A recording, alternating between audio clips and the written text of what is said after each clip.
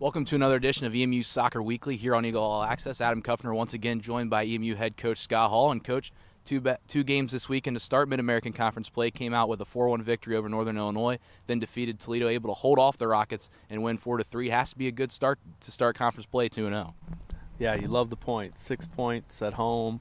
You got to take care of those home games and hope you you can at least split on the road. So we're excited for the two wins and uh, starting our preparation for Bowling Green and you started a four-game winning streak, and you scored four game or four goals in each of those contests, 17 goals total, and that's the most scored in the four-game span in program history, and that has to be something that uh, uh, you have to be proud of. Is there a certain thing that you've seen in training or during the games that that stuck out that's been the reason for these goals?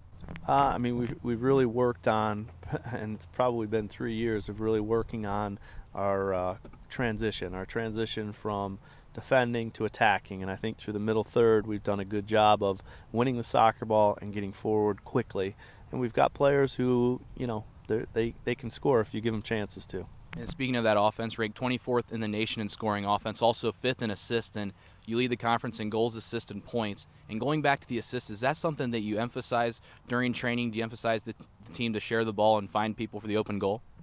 Well, I think you got, you know, uh, in you, you've got four or five kids that can score that can also get the ball forward. So I think when when you have that and you kind of create that atmosphere where we're trying to get the ball forward quickly and getting people to goal.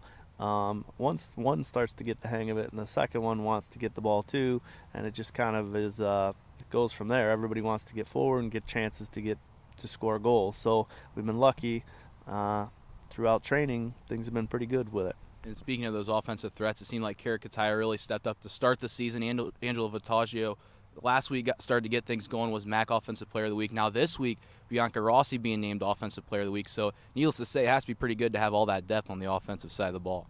Yeah, we got to keep the three of them going. You know, Martha got a goal this weekend too. Um, Emily Zeich out of the back on a set piece. Um, all those little things start to add up once you get into the MAC season. So we need everybody continuing on their way. Steph Clark, we got to get her a little more involved on the set pieces, um, and I think uh, we can make a good run at it. And you take the four-game winning streak to Bowling Green to start MAC play on the road this Friday. Uh, that game is under the lights. And what are the keys uh, going to be for your team to come out with a victory over the Falcons? Uh, I mean, I think Bowling Green struggled a little bit through the, you know, this is uh, their third coach in a couple of years. Uh, so I think they're probably trying to implement some new things. Uh, with that, I mean, we, have got to just stick with what we have been doing well at our transition, uh, offense to defense, defense to offense, and and just kind of do what we do best. Um, and kind of stay focused with that. We love playing under the light, especially on a Friday night. That'll be fun for us. I know the, the players love that. So we'll just kind of focus on what we can do, um, and whatever teams we run into, we'll see what we can do. And then following that matchup, you do go to Central Michigan, and they finally got things going after struggling a little bit non-conference. They got a pair of MAC victories, and now they stand tied atop the West Division with you at 2-0 and 0. And with the Central Michigan Chippewas, what's it going to take for to get a victory there? Not only because they're an in-state rival, but also because they're tied atop the West Division.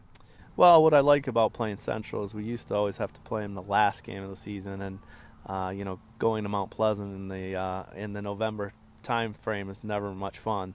So playing them now, where we get a little bit of better weather, um, I, I, think bodes well for us since we've had so many years going there. Then uh, Peter, who's done a great job to start off. I mean, some tough situations there. Um, has turned things around. Got a great start to the MAC. Um, and again, going to Central, it's the same thing. Just trying to do what we do best and focusing on what, what we can do to kind of make the game easier for us. Uh, but defensively, they're gonna they're very organized. They're gonna sit in, counter a little bit off of us, and we're gonna have to deal with some new situations. So each week's gonna present some new challenges. And Coach Hall and the Eagles are going to look to keep their four-game winning streak going, increase that winning streak with a couple matches on the road. Although they're not going to be here at Scicluna Field, you can get all the coverage on emueagles.com. For Adam Kuffner and Scott Hall, thanks for joining us here on Eagle All Access.